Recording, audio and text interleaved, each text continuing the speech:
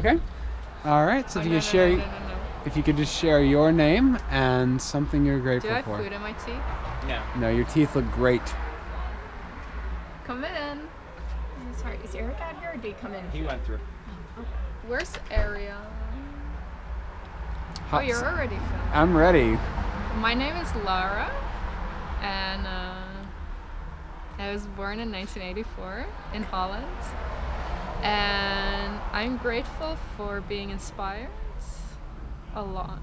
Not all the time, but often enough by the outdoors, by art and culture, by people's stories, by traveling to different places. So, and all of that becomes a part of me. So I can't pick out one thing because it's all of those things. Plus subjects that I can't think of now. Oh, like my boyfriend's dog Nikon. There you go. Thank you.